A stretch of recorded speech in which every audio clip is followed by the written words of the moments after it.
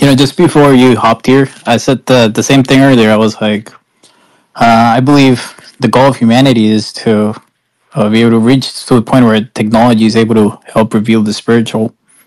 Uh, hopefully, humanity keeps, I mean, considers the spiritual more than the materialistic side of it, of course. So, as a psychic for 13 years, one thing I've noticed about humanity is we don't even, like, most people still think that a spirit is something only the gifted possess. But it's, you know, it's, it's built in uh, from the time from birth to death and even after. And that was another thing, like in all of my like studies and like speaking to the dead about life after death and all this kind of stuff. It's like I got this. I, it, it dawned on me that we're only alive for 80 years. We're in spirit form for eternity. And I, I, it just hit me that everybody that's ever told me, Taylor, you need to come back to reality can kiss my ass because reality isn't in this life in terms of time. Reality doesn't start until after this life. So that's a good one to keep in your uh, keep in your pocket there, Parsi. And and don't forget the the Tao Te Ching is a really good source of like flow state, especially when it comes to spiritual topics. You can just kind of be like, yeah, that don't, doesn't bother me. And that's the thing. Flow state is the state in which nothing bothers you, you know? Yo, I put the target up top. I revealed it. Um, some interesting submissions. I'll post some more too. Um, feel free, anybody who did the submission for remote viewing or tried it, to come up and talk about your feedback. A lot of times we talk about in the second half of the space people's experiences with it. So, um, still loving the discussion, guys. Everybody, feel free to jump up and join it. Um, we're just kind of shooting the shit. But thanks, people. I drew dice.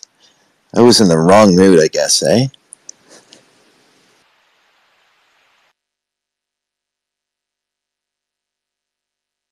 There were some good ones with like splashes. I guess, uh, yo, I'm not gonna lie. Uh, Daz Smith, who I had in the space earlier, who I consider a really good remote viewer, uh, asked me a question, and man, I'm still racking my brain around it. He basically asked, "Are people remote viewing the actual picture or the scene within the picture. I'm like, damn, fuck. Uh, both, yes. That's why I can never get the. That's why I can never get them. I'm like, am I? What what am I remote viewing? Are you remote exactly? viewing that it's snapshot like of the fish, or like the whole scene of like being in the water and the fish jumping out? And I don't. I feel like it would be both. You know, it would be like sort of like you're getting a sense well, it's, of it. It's well, it's more of an active clairvoyance, really. Um, so, I mean, you would ask sort of your third eye, like, what do you see, rather than you know projecting to the location, which which is what I think implies remote viewing. It's like I don't see that as remote viewing, just uh, uh, trying to see a picture. It's it's more like uh, psychometry, I to me, and um, because like remote viewing really is like I go to a location and it's like, I don't know the mindset of the inside of that picture, you know? I don't know if that makes sense.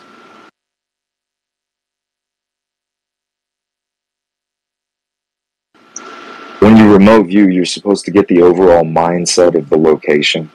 Just saying that.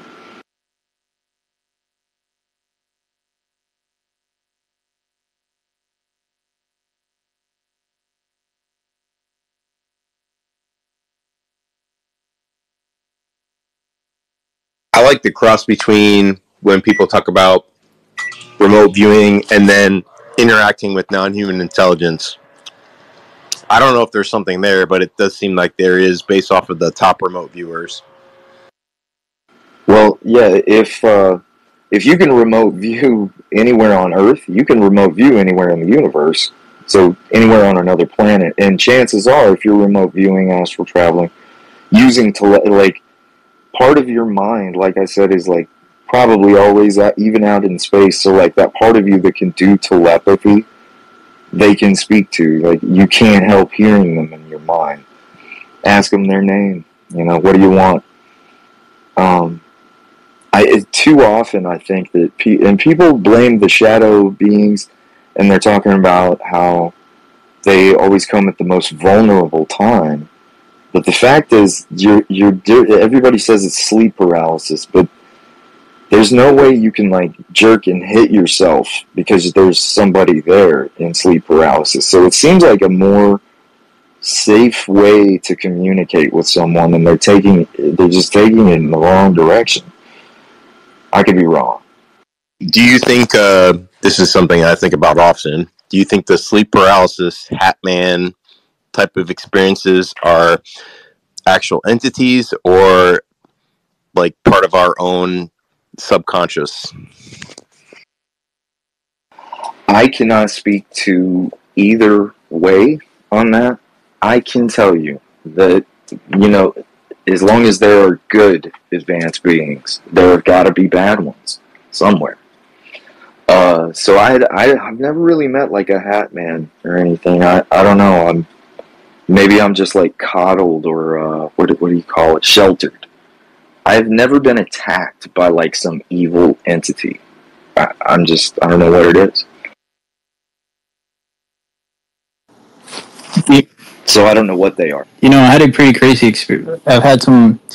So since I started having this implicit knowledge, or what was it that you said it? Uh, clairvoyance. Forgot how was it that you you named it? Claircognizance. that's difficult to pronounce. my, my main language is Spanish, but since I started having these visions and visions and stuff about like this implicit knowledge about the soul and reincarnation, I I started seeing this. Uh, I, I wake up in the middle of the night and I see these things floating.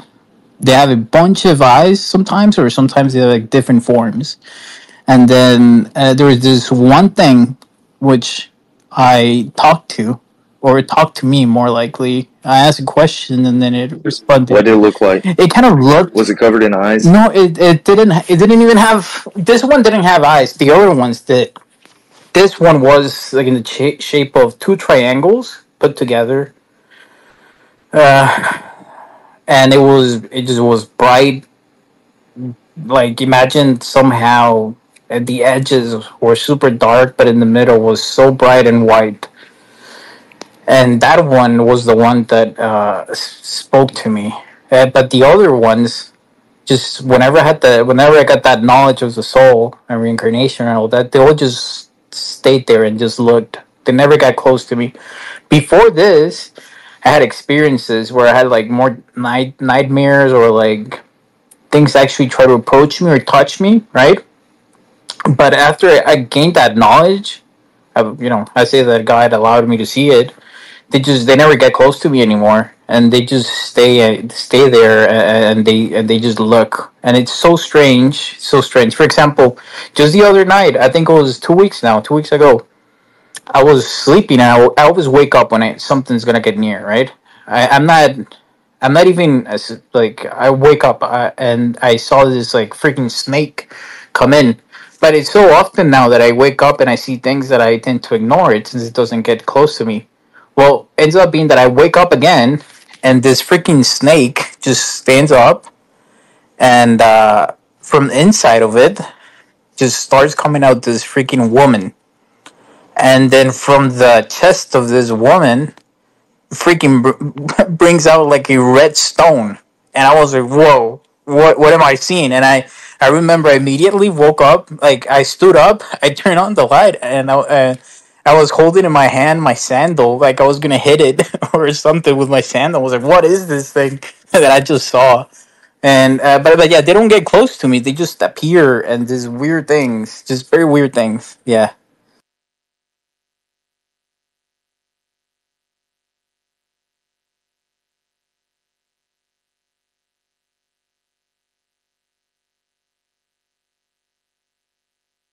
Yo, Parsi, go ahead, bro. You closing.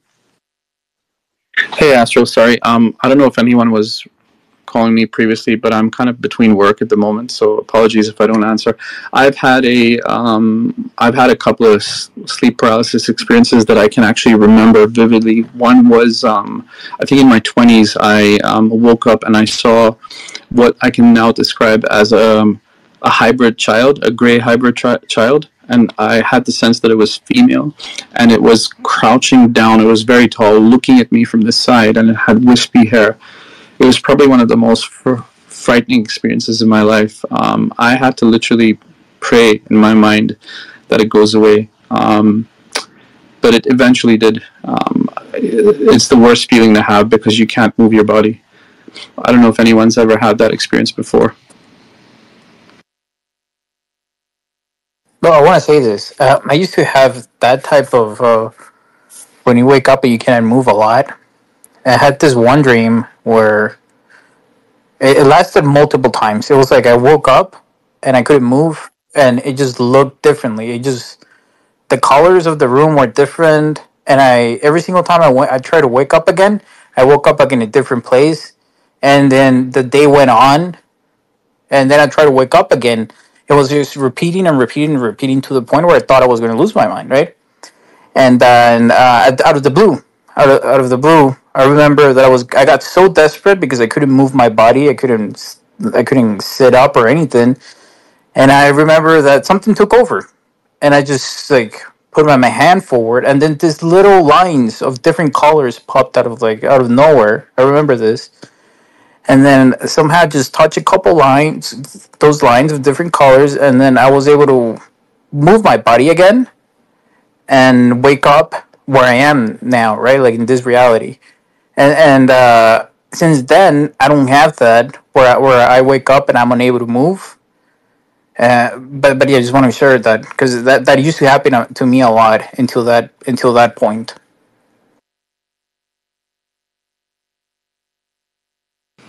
Go ahead, G.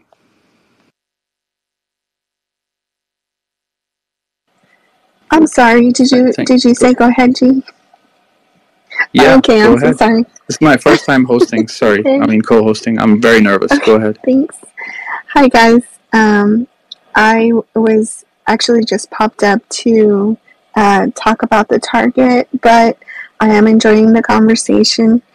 Um, it is very interesting. I have also had sleep paralysis. Um, I've had very um, vivid dreams, uh, dreams that seemed like they were more like me- ancient memories. Um, I've had attacks um, during dreams. Um, and also, I think that I get sometimes like, um, like, not necessarily uh, on a great landscape, but you know, vision type dreams as well. So, really enjoying that conversation.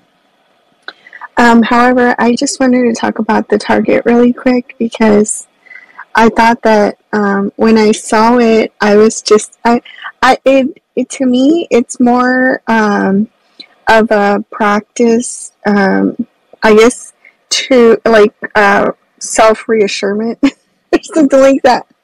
Like it's it's actually for myself to just verify that um, the things that I see, that you know, sometimes the things that I sense that I'm actually connecting with it. So that's why um, I actually participate, and I love um, every week being able to uh, count on Astral to hold the spaces. So thank you so much.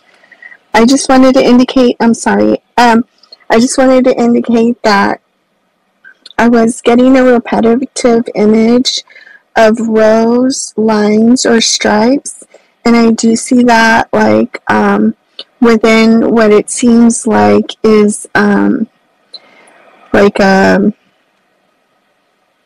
uh, like a deck or a pier or something like that. Um, I I so it was really funny because one of the last images that I had, I actually saw something white. I didn't know exactly what it was. I thought possibly could be clouds within the lines, but I did get a lot of uh, hits on this target. Um, I did um, write looking out, rows or stripes, a darker base or lower, and water. And then I indicated my repetitive image was rows, lines, or stripes. Um, uh, at the top, up on the right hand side, I what I saw was like something, possibly like um, like a, a, a like a stick or a log or something like that. And it actually looked like uh, I was looking from under the water, looking up. And I'm not very good at drawing, but I tried to draw how the water um, looked around the log, you know, where the log was in there. And um, so I felt also I was uh, drawing in the center, and I wasn't really sure what I was drawing, but I saw the little lines, um, which were, could be possibly prank, uh, planks um, with uh, oh, like something sticking out, and I was just thinking to myself, is somebody smoking from a bong or something? that I'm I'm connecting to it, but it actually no. I can sorry. so actually, I can actually see that it would resemble uh, something like you know an actual deck or something like that. And I did have like a little tiny shape on the right side, and now that I look at it, you know, I didn't know what I was drawing, but it kind of is like in the shape of a fish. so I felt very connected to this, and thank you for holding the space. That's great, G. Thank you very much. Love always, and the most veteran remote viewer who has come up. I always appreciate uh, your take on it. Quaz, what's up?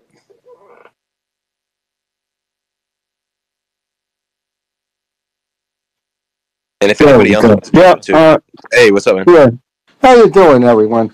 Yeah, I was on my walk when I had the phone in the pocket, and I said, "Well, what am I hearing here? I'm hearing somebody that was uh, having a sleep paralysis issues, and uh, talk about astral projection, and also, oh my God, yeah, yeah, this is a something I know a bit about."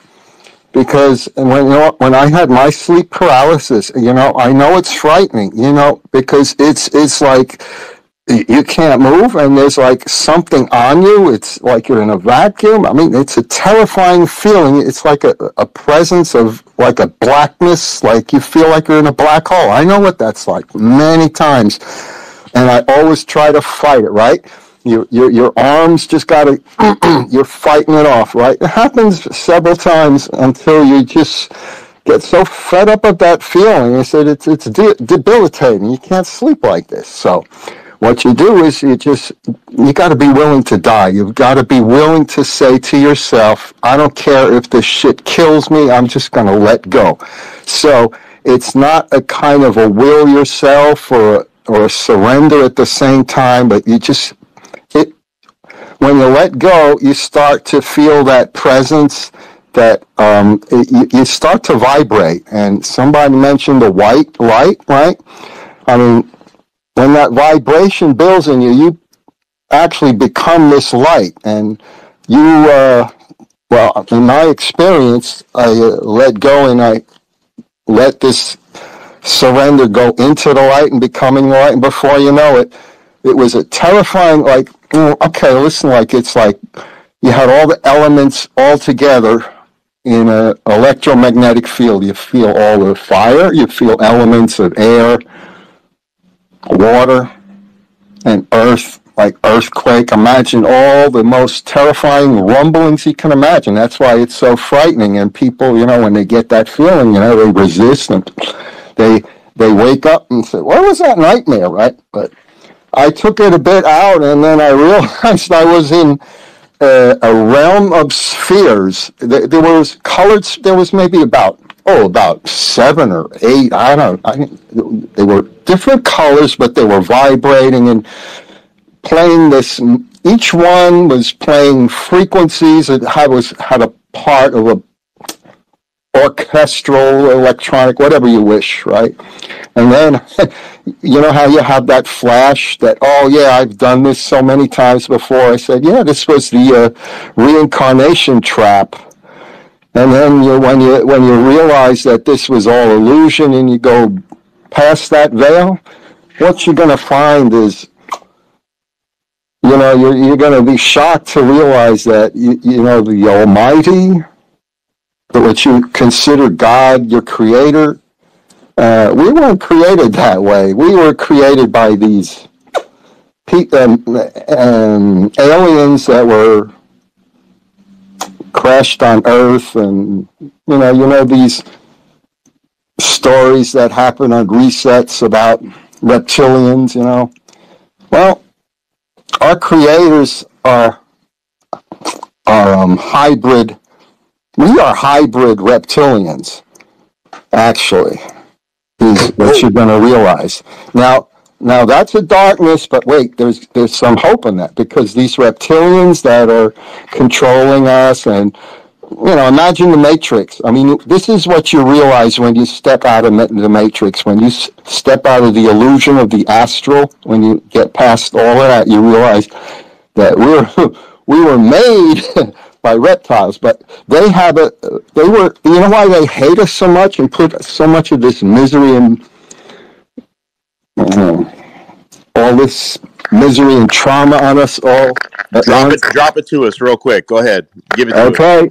The good news is they did not expect that they were going to create souls. That's why they're so jealous of us. And they, their time is up and they're going to realize the, uh, we are, we are the immortals and we're going to have our thousand years of peace out. I'll land right there and let you consider that for now. Thank you for letting me up here. Thank you, Quaz. Hey, um, would it surprise you to know that I was one in a past life from Alpha Draconis? That I saw my life flashing before my eyes during my regression? That I saw my hands change from human to reptilian? That I saw them feeding on humans? Um, that the being named itself, uh, the being told me the name was Ruck, R A K K A H, from Alpha Draconis. Uh, the being's eyes showed up every time I closed my eyes. Um, I ended up drawing the face of the being. They ended up speaking to me. So I had, for the longest time, this reptilian attachment because of this past life that hopefully I'm able to let go now.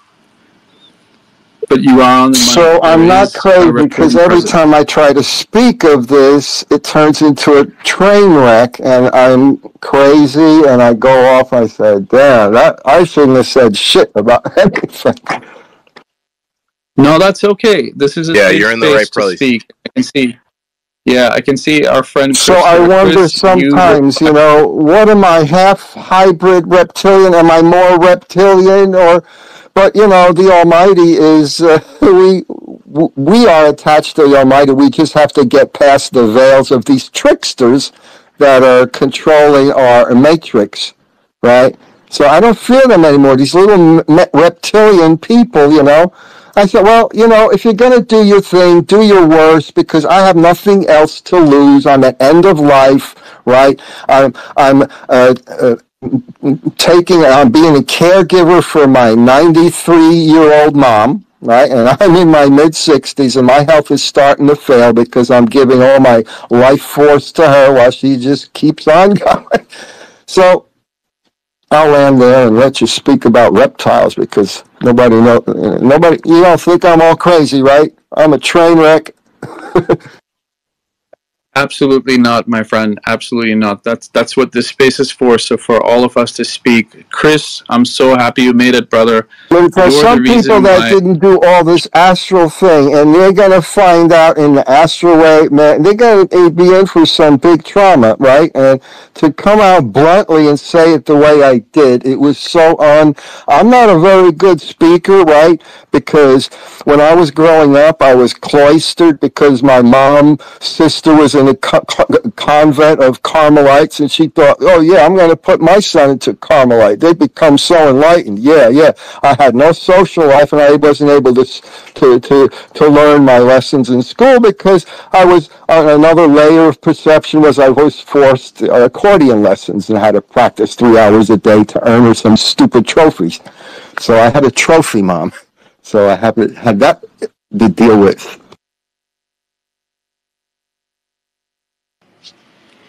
Thank you so much, Quaz. Christian, would you like to come join us to speak?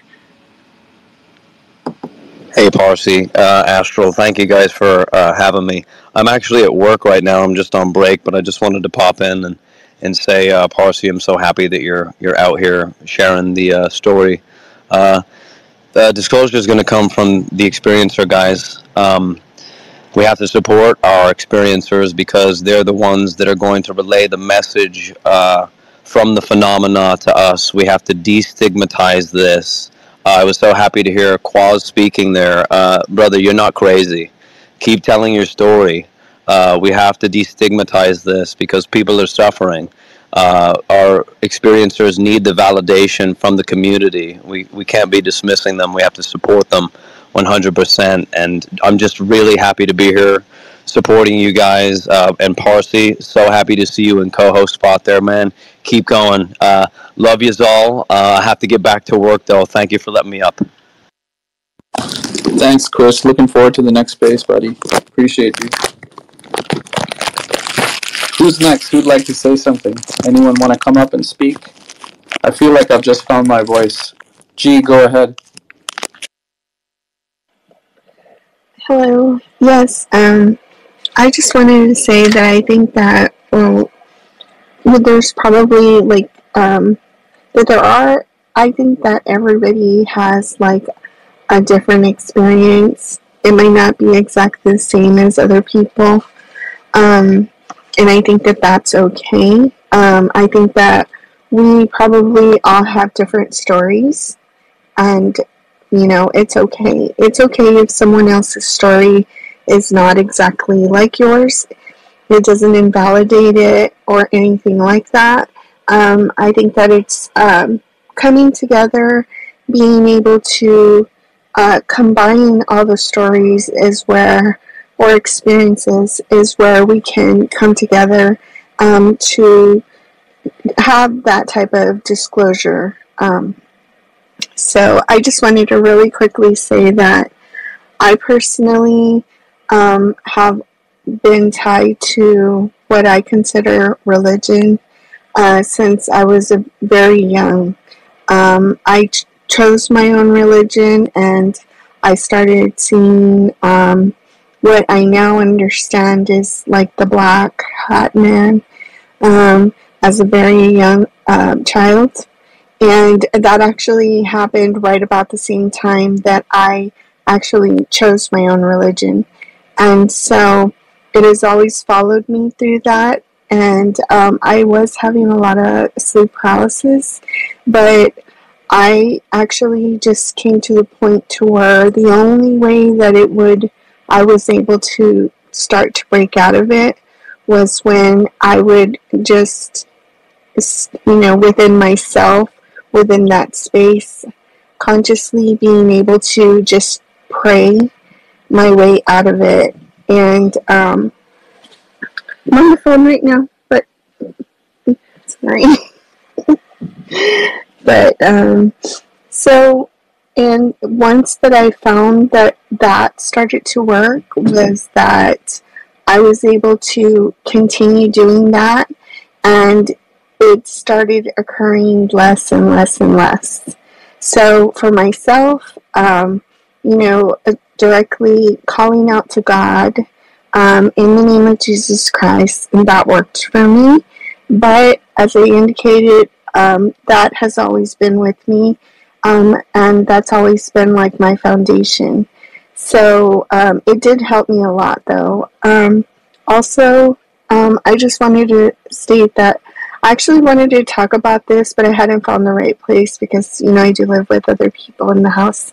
But um, it was probably about a week ago that I had um, uh, what I thought was like a really bad dream, but it woke me up, and I woke up and I was scared, and it felt like um, something in my dream had um, it had actually come, and it was like a big bump with uh, it was like um, with like when somebody you know comes down on the ground and bumps like with their arm hitting hard.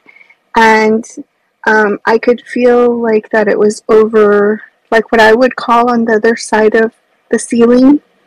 And um, it was almost like an invisible or an invisible or translucent layer. Um, and when I um, started thinking back about it, I started thinking that what what was that? Like the, the it was like a like almost like a man, um, but it was very large. Um, could have been about ten feet tall, but it was just very large and strong. And um, it had something like um, a type of maybe what I thought may have been a cape, but when I started looking for images that would match that, I saw that there were, um, you know, like men in armor or possibly like, you know, wings. I'm not sure. It was just a very strong, um, came down and um, was hitting to try to get through.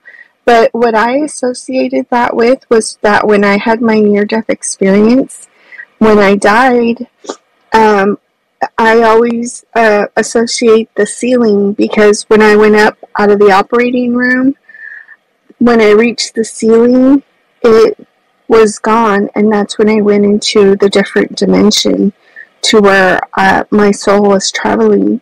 So when I thought back about um, how it was like a translucent layer that that you know person or thing was trying to get at me um, that I I immediately like realized that it was in a different dimension but that it couldn't get through that dimension to me like on earth. And the feeling that I received was that it was someone that I knew um, and and that they had found me.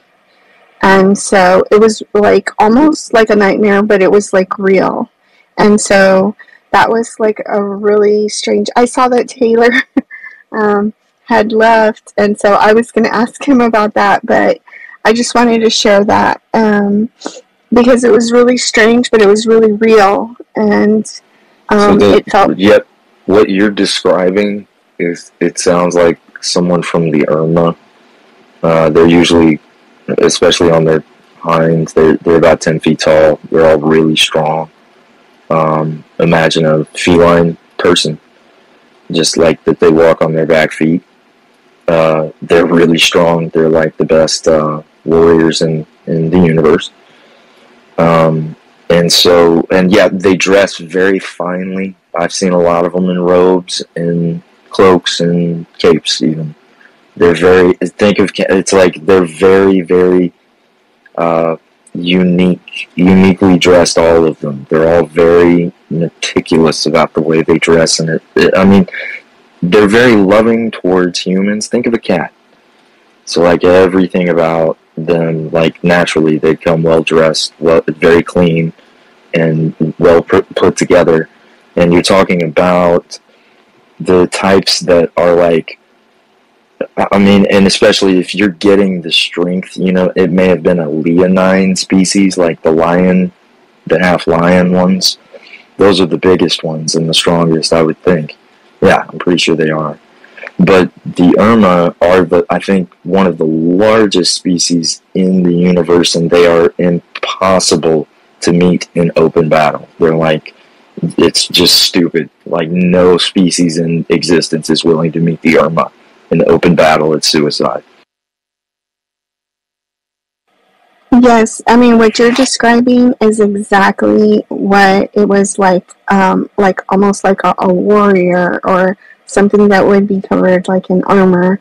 But what you're describing, I don't, and you probably don't remember, but the first time that I spoke to you that I I um I asked you about was when I was a child that a lion appeared to me, but that it did not like I was just feet away from it in Texas. And um, you know, I think I was about eight and it did not pounce on me or I just slowly walked away from it and it just kept staring at me directly into my eyes. And that was prior to my near death experience. and then shortly after that was when there were like a pack of wolves. Where we we don't have wolves in, in Texas, um, but the lion has always been um, the one constant thing in my life. So that is um, funny that it you know it kind of ties it all in together. But I would be interested about in hearing a little bit more about it if you have the time. Hey, G and Taylor, I'm I'm I'm quite shocked that you guys are mentioning beings in armor, um, tall beings, because that's exactly the kind of beings that I'm in in contact with through my regressions and currently. So these beings, they're manifesting with, and um, I asked AI to kind of conjure up what's coming in my mind's eye. So if you look at my profile picture, those, that's what the beings look like. They they have the faces of owls, but they have the bodies of men, and they're warriors. Um, they dress in a golden armor, and they have these weapons that are. Um, it's hard to explain. It's an energy weapon, but it's more like a. It's a it's a hybrid between a sword and a spear, and they carry it with them everywhere. Um, and they they don't have a name for themselves every time I've asked them for a name, but they've said that they call themselves the guardians of souls or the keepers of souls. Um, and they reside on this astral realm. So it's funny how now more and more people are kind of. Uh, it seems like they they tend to show themselves as certain animals to certain people. I don't know if that's the lion is your spirit animal, but for me, the owl synchronicities kind of started just after my. Uh, my first regression, trying to get rid of the reptilian attachment, and doing these um, self healing meditations from Dr. Dr. Joe Dispenza. I don't know if you've heard about him. Um, and then through those meditations, these owl beings started showing up. Um, their faces started showing up. Um, I was able to draw them very roughly because I'm bad at drawing and illustration. But then they they kind of came through that regression, and after that regression, the contact with these beings has just exploded now. So it's it's I'm very curious how um, you also describe them as being tall and in, in an ar- armor. Same with you, Taylor.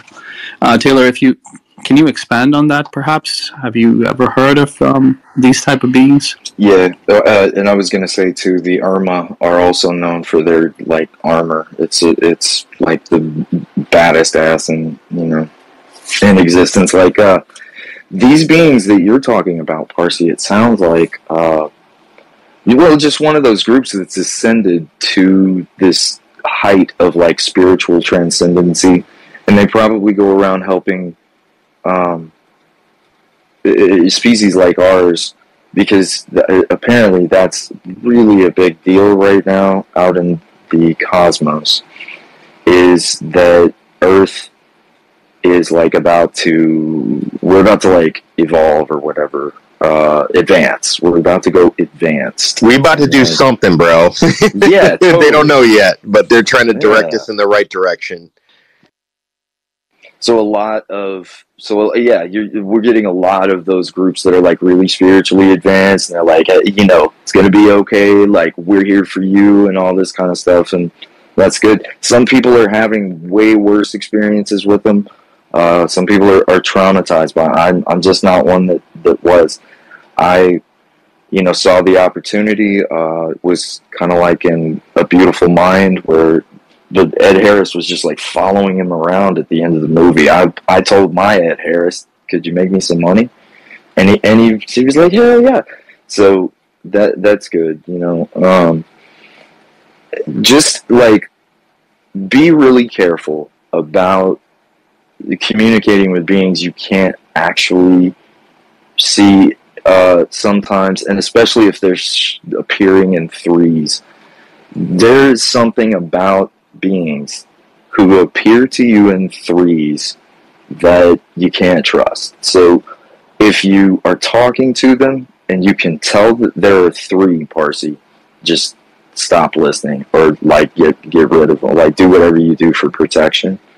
Just don't let them come. Like there is, uh, there it, all religions apply when it comes to talking the other side, or, or like, uh, talking to advanced beings like telepathically. uh, you just have to be careful. It's not necessarily like, and it sounds like you're protected. It feels like you are. You're good. Um, at the same time, there are a lot of advanced species just like the ones you're describing. And uh, they do. It's like they have greater knowledge than you do. You know, listen to hear them out. Like they may have a download. What what advanced beings from like several different species have told me if I you know if I actually talk to them. um, is that the entire universe, like, there's not another time that, and this is crazy because it all applies at once, but try to stay with me. They believe in God, like the creator of existence. Like all advanced species have had some kind of miraculous encounter they believe that Christ was the only believed time in existential history that God was said to manifest in carbon based form. That makes all of humanity very sacred because I, to to advanced species because the percentage and I could have this wrong, but the percentage of like Christian and non Christian aliens is the same per capita as it is on Earth. I mean, I, I have bad, like, if that, if that's so, then it's like, that's no, it sounds no fun, but it's like, I've been, I, I've been like trying to plug all this in and like disprove it, and I can't. So it's like being virtuous, apparently, in eternal existence because they all know how to live forever is even more important. So it's like things like keeping your word. If you give your word to something and in a thousand years it comes true, if you're still alive, it's kind it's kind of matters a little more, you know. So it's like being the these extremely virtuous people is what before we be, before we become spacefaring, that's what we have to be. Yeah, now you're absolutely on the money because these beings they took me to see God. They call it the All. Um, um, they told me about their agenda, how they're fighting against other species in this realm we call the astral realm. So things that you say are very much resonating with me. Now, when you spoke about Christ manifesting as God, there is a book called the Thiaoouba Prophecy by a gentleman by the name of Michel Desmarquet. Michel was a Frenchman living in Canberra in Australia. I don't know if anyone's heard about it, but his book really resonated with me. He spoke of a race of these golden beings that um, physically abducted him and took him to their planet. They they told him how the universe started was this supreme consciousness wanted to experience life in every form. So the supreme consciousness decided to put itself out there in different life forms, give itself free, free will so it can experience these lives over and over again. Um, in the book, he even speaks about how Jesus and Christ were two separate beings. Um, I think, if I'm not mistaken, Jesus was the biological son that was born, but it was Christ as the NHI that they replaced him with.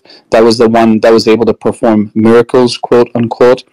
Um, and that he actually saw the body of Christ after it was taken from the planet after he was crucified. I mean, take from it what you will, but it, the book deeply resonated with me, and and that's what these beings told me as well is that we're all fractals of source. These are the exact words they said to me, and then I read this book, and the book talks about a supreme consciousness going out throughout the universe.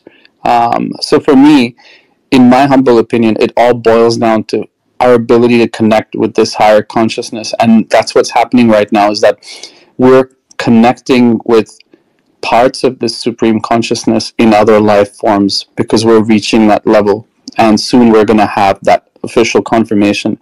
I think few days ago there was some kind of uh, articles out there that some uk scientist is now about to announce they found life on trappist 1b but I think Linda Moulton Howe even spoke about this from one of her insiders that they already knew about the life being on TRAPPIST 1B. And there is another whistleblower by the name of JP, military guy. that comes to Dr. Salla, Michael Salla's channel. I mean, Michael Salla's had a few questionable guests, but I don't get that feeling from JP. I, I find that I resonate with JP. Um, and JP pretty much says the same thing as well is that um, things are about to happen. And not only TRAPPIST 1b, but even Ganymede, which is one of the uh, moons of Jupiter. So take take from it what you will, whatever resonates. Yeah, I hear you. Let me let me wrap up about the three beings. If you're ever communicating with something you can't see telepathically, and you can tell there are three separate beings, get rid of them. Stop talking to them. There's there's a thing called jinn. That's all I know to call them. They're real, and they each, all three, have their own separate ego, and so they all want credit for their own mischief. You will always be able to tell when there's three, and there will always be three if it's jinn. Even if it's women, get rid of them. The beings that I see are usually just one or two up in the sky, and they actually move with purpose. They don't fly by really fast. I've only seen the flybys extremely fast with my own eyes, quicker than I could pull up my phone to record them. But every time they actually show, um, it's with intent and in intelligence, and it's either one or two. Um, and sometimes they'll play around. So if if in my mind I say, "Can you go right or left?" they will do that. They'll cross each other. Um, they they tend to be really playful, and they don't really directly impact me. They're always in the background, and that's what they've told me as well. Is that we work in the background, we send the messages out. It's up to you to uh, spread the message and see if people will resonate and so you know, do you? I don't know. You know the Prime Directive on Star Trek. It's. No, I was no, told. I, uh, I was told it is a direct channel. Like they, that's their Prime Directive. Is they are not to interfere in a species evolution until a certain point of its evolution. And like we almost didn't make it somehow, but. Mm-hmm I sense that we did just barely. Well, I don't know if anybody else out there feels it. It's like a feeling in my gut that sooner or later, one of these days, something is going to happen. Um, like they've been dropping these little bombs with Jason Sands and this Kona Blue document, and uh, Kona Blue, you know, I'm sure there was a there is probably a reverse engineering program right now, but why we, we need to question ourselves why did they release that information? Is it just to see how we're going to react as a species to this? To see how people, if people are going to go through that ontological shock? And I think that's what Lou Elizondo alludes to is that we're going to find out that it's not just that we're not top of the food chain, it's that we may not actually be in control of this reality. Yeah, so if you look at time as though like past, present, and future are happening on top of each other and all at the same time, it's like everything is happening all at once. You can, and I know that's hard to just like up and make yourself think sometimes, but it's like if you think of it in terms of everything's happening, there is no past, there is no future, there is only the present and and past and future are happening in the present too. If you can wrap your head around that, you kind of understand how uh, some of these beings think, and it's like why they would be here. Um, the thing that stood out to me uh, about some of the things I've heard is just uh, they're apparently, you know, it doesn't matter like how many species there are. It's like the, the closest ones to us I know are, are Sirius Pleiades and Arcturus. And they just happen to be allied, so yeehaw.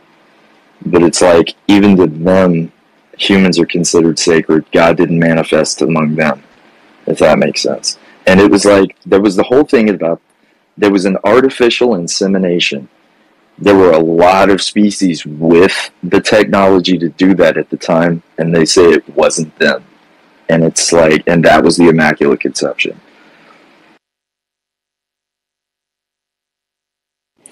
Thank you for that. Some thoughts to ponder. Would anyone else like to speak?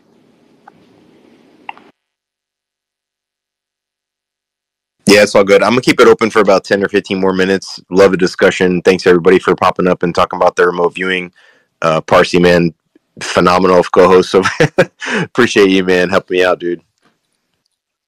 Thank you, Astro. It's the first time, hopefully not the last. It's awesome.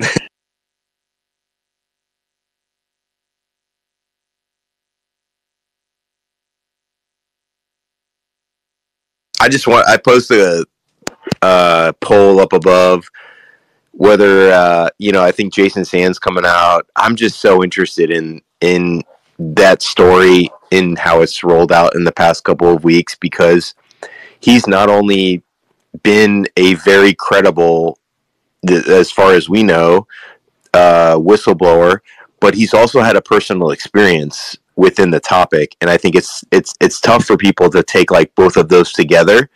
Um, that he's had a, uh, not only an experience with being, but with non-human intelligence, and and it just seems a little bit deeper. Um, and I think that's these are going to be the tough things that are going to be, uh, you know, problems for people to accept. Is that you know these people have had experiences that are getting closer to the topic and this personal exploration that I was talking about, and you know, there's an aspect of this that you know I think are are are fearful uh, when people start to experience. You know, you come into these spaces and you hear about these experiences, and it's not all the best type of stuff, but um, you know, I think there is a very big aspect of personal exploration that that does go behind this. Yeah, those deep meditations like Parsi, those are good. Yeah, I'm doing those. Um, I'm doing the um, Joe Dispenza's Walk for the World meditation. You can download it from his website, but you can even see it on YouTube. But I would, I would caution people that if you're doing this meditation, do it in a safe space because it's obviously a walking meditation. You don't want crazy people around you. Um, you can even do it out on your balcony. You don't actually have to walk. Um, you can just stand there and do it. But I guarantee you, once you get into that meditation, it takes you to another dimension. Highly recommend it. Would you say that's the key? I feel like meditation is, in a sense, the key. Uh, a lot of the key to this of being able to just, you know, start in a, a dedicated, consistent way of of practicing and getting to a state. First, you you just have to believe that someone can think to you. You can know what they're thinking, and you can think to them, and they can know what you're thinking. And you start from. I mean, it's just uh, it's a matter of faith. Yeah, I started meditating about a year ago, and then um, I heard about Dr. Greer and CE5, and I was curious about it. I, I, I never thought I could do it, but um, I found a curious seven minute video on someone on a YouTube channel randomly, and the man was just speaking, saying if you want to connect with beings, you have to show that pure intention. You have to show that love, and they'll show. And at first, I thought it was just a weird, maybe like a drone or something, but it's literally exploded. I mean, I've seen blue Tic Tacs, I've seen orange orbs with the faces of grays in them. I can't even explain to you the other part of the phenomenon that I've experienced through meditation.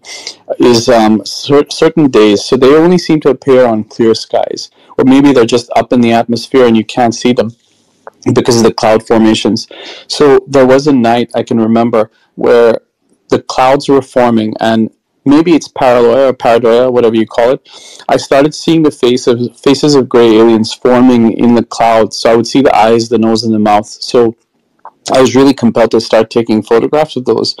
Now the funny thing is, every time the orbs have showed up or the craft have showed up, um, helicopter surveillance has followed. And this is something that's never happened to me. Doesn't happen here in Melbourne, but I've actually documented um, black helicopters flying by. But now on this night when it was cloudy and I was meditating, obviously I couldn't see any of the beings, but their face formed in the. I took their pictures, and literally five minutes later, there's a helicopter with the light shining right in my face. So I live in an apartment building, so it's flying straight towards me. I pull out my phone I start recording the helicopter. When they realize I'm recording, the lights off. So I, I have no way to explain that, and I don't think it's it's meditation per se. It's the ability of meditation to put you in a uh, what I coin as a brain heart coherent state. And I think if you practice meditation long enough, maybe like a year or so, you can do that pretty much will. Like you can put yourself in that state um, in a matter of minutes. And I proved that to myself yesterday when I was on a space with Christian and we manifested uh, the phenomenon live on the space. Um, I filmed the phenomenon while it was happening.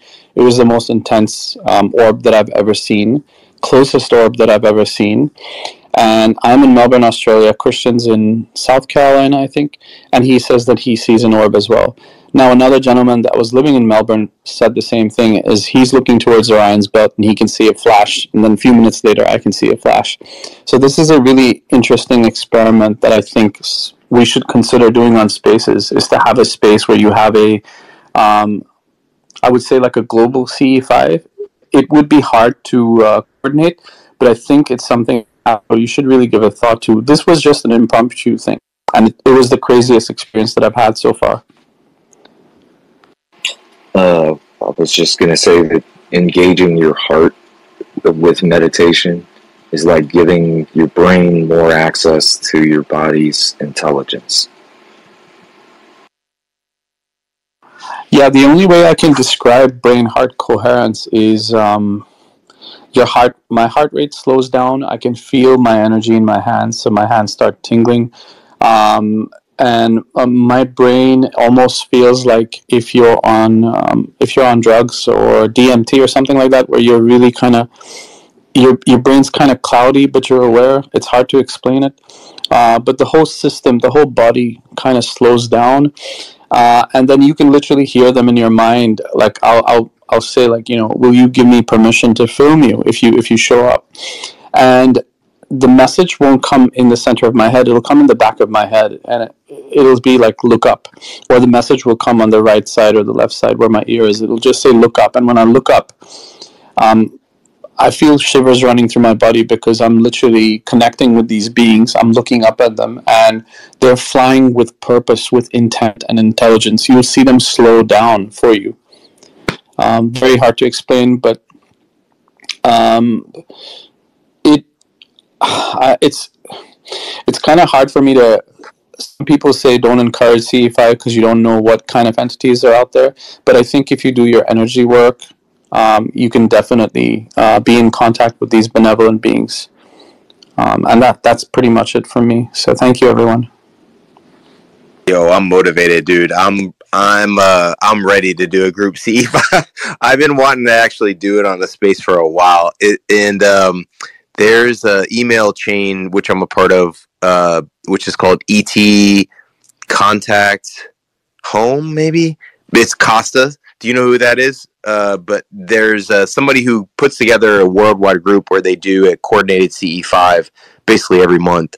Um, but I, I'm I'm so down for something like that. You know what I'm saying? And then everybody sort of documenting their experiences. I think that would be super fucking cool. Yeah, Astro. Um, I know Delphi, you're next, but I just noticed Nonaz is coming to space now. Nonaz is going to corroborate the story from last night, where he witnessed his version of um, the phenomenon on the same space. But go, you're first, please. Sorry, I missed that bit. Was it for Delphi or was it for myself, mate? Nonaz let's let's get Delphi to go first because they were first, please, if that's okay. Delphi, please go.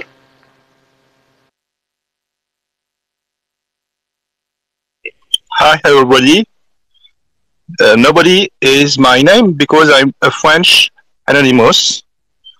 Um, thanks a lot for your great and uh, very interesting uh, space because uh, I am abducted with um, in 2012 2012 in 2012 I was seen by what is beyond my understanding like a triangle that appeared above my head. Right? Could I share an information about your American Space Force is in contact with non-human intelligence. Nobody is my name and nobody knows. Space Force, American Space Force is in contact with non-human intelligence. Right. Um, could I ask you a question about uh, the abductee, the abduction, and post-traumatic stress? Absolutely. Go ahead. Especially uh, the collective psychic depression. Uh, the psychic depression isn't uh, the a classic depression. Um, the psychic depression is uh, like the labor of the birth of a child of your newest avatar.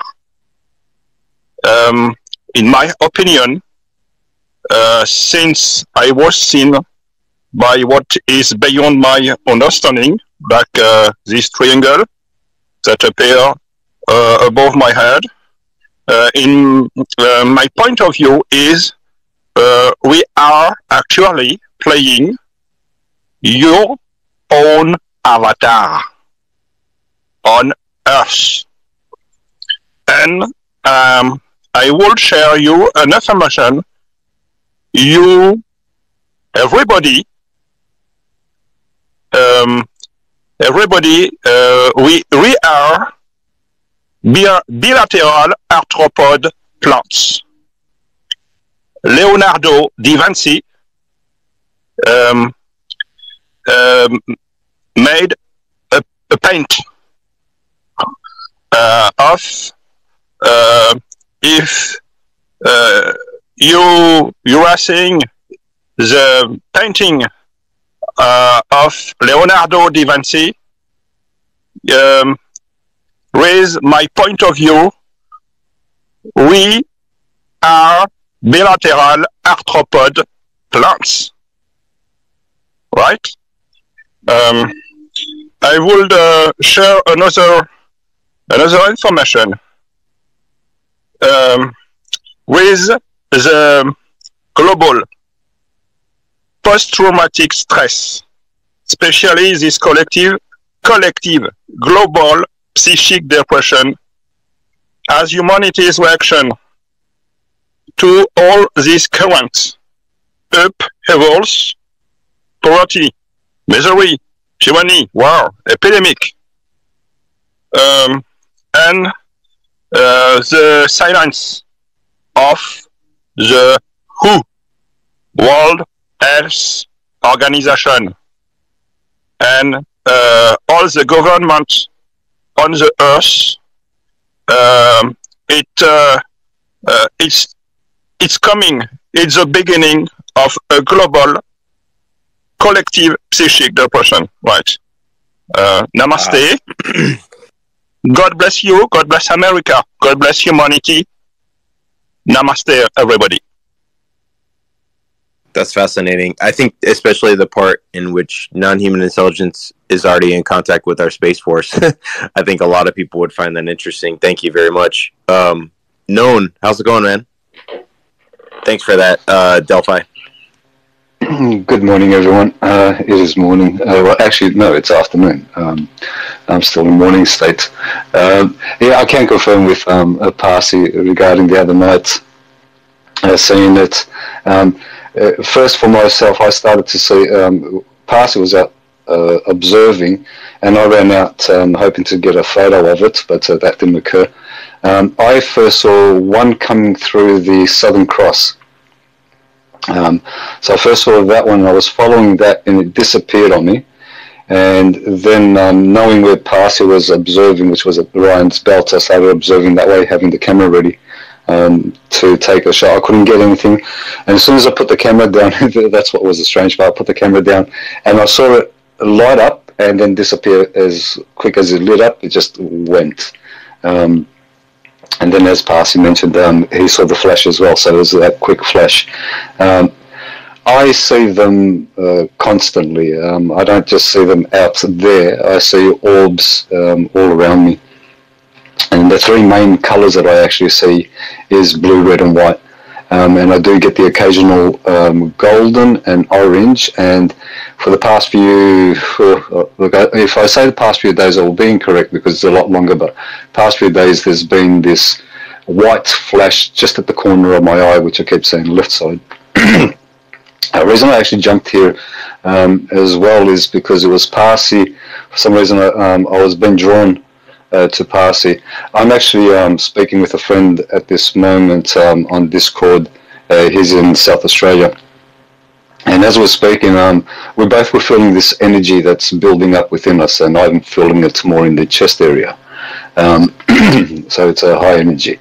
Uh, it was something regarding uh, the topic that was on regarding the uh, past. I think you were mentioning it of the Jesus being the physical and the Christ being that which occupied. Um, I will say that that is exactly how it is. Um, now, I will speak my perspective and only my perspective, and it's uh, my own personal experience to that itself. Um, I do not consider myself as a um, an abductee in that sense itself. I do not dismiss it whatsoever. I'm far from it.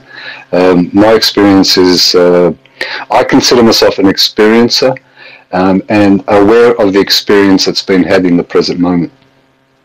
Um, uh, I acknowledge the uh, what we could say as a Christ consciousness, and I acknowledge the Christ consciousness that occupies the uh, um, the avatar, if you like, using that term, or the vessel, uh, whichever uh, terminology we want to use. This is the vessel that is being used at this moment to communicate with those who are listening.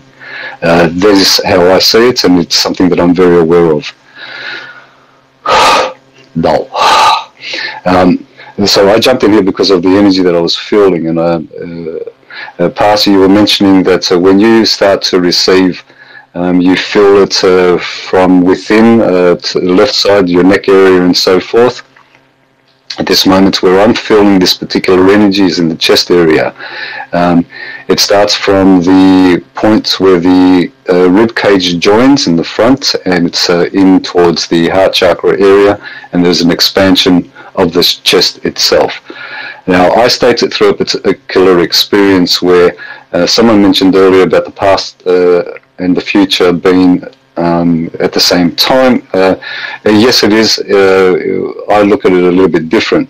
Uh, we are in this moment which is unfolding, and everything that is unfolding is the um, is observable as the past itself. The future is that which is observing the avatar itself or occupying the avatar. So we are the future, not the vessel itself. The vessel itself is the past itself. Um, the future is that which is occupying. We can call it as the Christ consciousness or consciousness itself. Um, the collective consciousness is awakening. It has awakened. Um, it is uh, the collective's focus at this moment with all the dramas that are occurring around them, uh, which is uh, more of an obstacle to them. And if they can detach themselves from the obstacles or the, the distractions, they are capable of acknowledging the consciousness within themselves and the collective which we all are. Um, Parsi mentioned the word the all. Uh, I can work with the word the all. I don't like many other words, but I can work with the word all source. Uh, that which is, that which we all come from, that which we all are. There is no separation to it. The only separation is the experience that is being had, not the experiencer. The experiencer is the all itself. Uh, when we can remove our education from ourselves, the, that which we attach ourselves to, which is what we class as um, we have something. So if we believe that we are what we have been told, we will be limiting ourselves to that which we've been told, and that'll be the end of the individual, if you would like. The moment that one can remove oneself from what one has attached oneself from, one is itself that which is occupying the vessel itself. Though. Um, Uh, when I speak of energies, to me, the energy is exactly what we are. We are that consciousness which is uh, consciously aware of this moment as it's unfolding. Um, there is uh, many around us which is artificial um, intelligence, which uh, the gentleman before Delphi mentioned uh, that they are. Um, in contact with. They are in contact with these entities. These entities are not for our assistance. It is assistance for the entities that have already been here for a very long time. And many of the uh, material or many of the information that is out there that is being provided regarding technology is artificial technology and it is not there for the benefit of humanity. It is for the benefit of the benevolent uh, beings that are around uh, that are looking to come into form and they cannot come into form. They can only come into form as parasites into individuals, uh, which is occurring on a constant basis. So they're trying to work out on how to um, get that uh, uh, that uh, parasites consciousness into vessels. So uh, many people who we would call them possessed uh, these days, if uh, if we work with that word, they themselves will be occupying the um, the vessels, the people, the human, um, the avatar. Uh, now they want to have their own, so this is where the artificial intelligence comes into it. The AI business is for these uh, entities to have something of their own uh, because they cannot come here. They're coming in from, uh, we say dimension the dimension itself is what we speak of is the second dimension. Uh, they never formed, they could not form, they will not form, but they are trying to come into this reality. They have manipulated a lot of what we call government. Government is a manipulation in itself, and it's the manipulation of humanity itself when we all start to come back to this moment and instead of focusing on what we're going to be doing or what we have done and realize that what we are doing right this moment is pushing all those entities away from this space at this moment and that is what is occurring as I speak.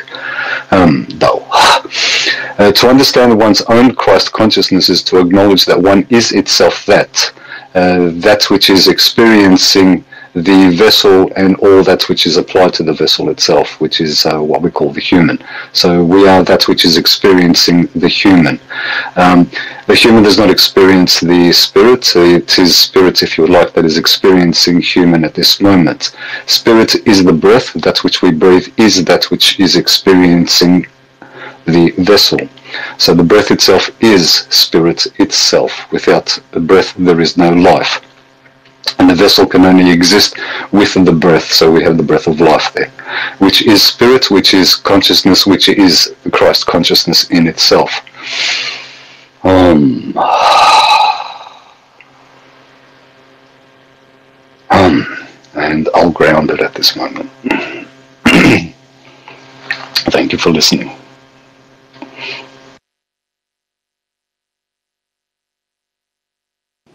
That was very powerful. Thank you, Non. Appreciate you. Yo, I felt that. And um, I wanted to just touch on too. Uh, my first CE5 heist experience, I actually thought it was bullshit when I heard about Steven Greer and people going out and you know contact UFOs and bringing them down and being able to actually make contact. But then I actually like was like, okay, I'll give it a chance. I'll give it a shot. I'll go out at least ten times and uh, document my experience. And it what it I went out a couple times on my own and saw a couple like recurring shooting stars, but it wasn't until I actually started going out with other people. And uh, I went out with my brother the first time that it ever actually happened, and we went out and saw a light. So we were just going out there and we're chilling. Uh, and I was like, "Hey, man, you, have you ever you know heard of this CE5 Greer uh, heist thing where you're contacting?" And brought out the app and started just playing the tones or whatever.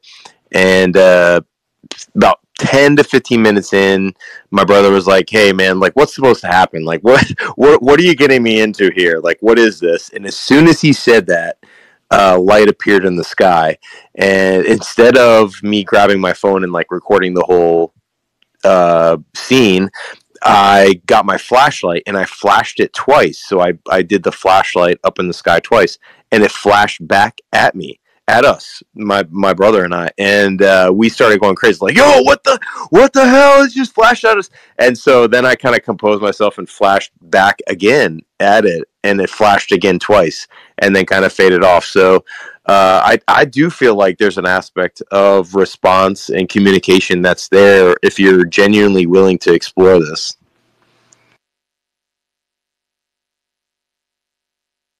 Well, then there's no Yeah, fear. absolutely. That that's the thing. They uh like the, they won't contact you if you're afraid. They don't want you to hurt yourself. You know. Uh, they're not. Um, it's not that uh, they they don't. Uh, they're not here to harm anyone. Um, there are those that are here to do the opposite of that, which is to harm.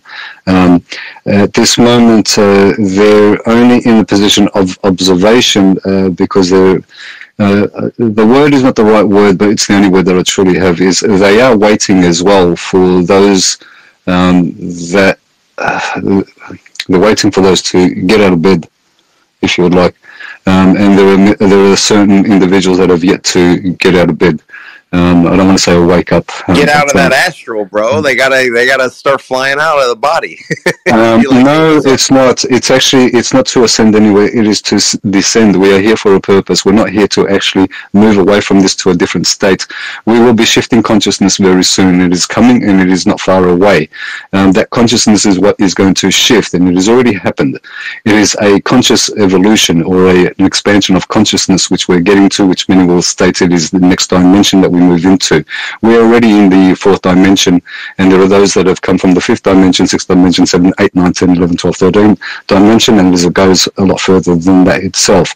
We descend to this point of time to assist for the next phase of evolution of the human itself and the consciousness of the human.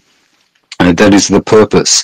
Uh, they will not interfere at this moment because uh, there are those that need to be revealed for what they are doing. So the revealing is what is occurring. Re- occurring at this moment, we call it revelations. The apocalypse is unfolding as we are speaking. And the apocalypse literally meaning to uncover, to discover, to reveal. Revelation. Dull. Um, so we are here for that purpose, but at this moment there is those, as I stated, that need to just get out of bed. It is not to go away, it is to be present, it is to be completely grounded in this present moment. It is to be embodied. It is the flesh become mm, the word become flesh in itself. Um, to acknowledge that itself is consciousness instead of living in the past, in the mind itself, to be present, to acknowledge what the present truly represents. In this present moment, all the energies that are around us is manipulated by those um, benevolent beings that are controlling a lot of the frequencies all around us and break through those frequencies. This moment, many are just stuck in their mind. The observation of this moment itself is to observe time itself, and time itself is a memory, it is a past. When those individuals have awoken to this realization and can see it for what it is, they will acknowledge that there is no separation between us and we're all together in it. We might seem to think that we have separation, but there is no such thing as separation. It is the experience of separation that is occurring at this moment. The vessel itself is that which is, is being experienced, which is separate in itself. But in time itself, which time itself is a whole, a oneness in itself, it all exists in this moment. To be able to observe the second passing is to not hold on to that second that has already passed. Many are holding on to that second like a wave and riding the wave, living in their mind, in their memory. The memory itself is outside of this moment. Anything that you can think of at this moment is not this moment. It is the memory, it is in the past. Anything that you can think of as the future is in the mind, it is in the past. It is a presumption, it is not the present moment. The present moment is the observation of time. That which is observing time is not in time, but is entering time. We have entered time to be present. To acknowledge that aspect of oneself is to acknowledge what the mind truly is. What you see is the mind at this moment. Grounding. Thank you for that. I think I almost went into a trance with your. For real? That was good. holy. Thank you. Yo, I'm gonna close it up in just a couple minutes. I'll throw it around to everybody. Parsi, thank you so much for co-hosting. Taylor and Rich uh, G, everybody known for jumping up. Uh, appreciate it again. I'll let everybody, uh, you know, say their, uh, you know, last minute uh, things, and then we'll close it up. Thanks, everybody. Thank you, everyone. Appreciate every one of you. Stay strong. Lockbox. No, I appreciate everyone. And known that was really great, man. I, I can confirm everything you said on a psychic level and like everything I've studied, everything I know, like astral travel wise. I can say that you're you're pretty dead on balls there, dude. I speak without thought, and it is the word that speaks. Think not, and the truth will be spoken.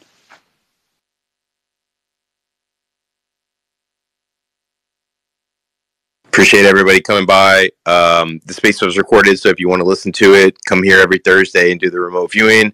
Uh, you know, thanks everybody for coming by again, um, joining the discussion. All love. Have a great night. Peace, guys.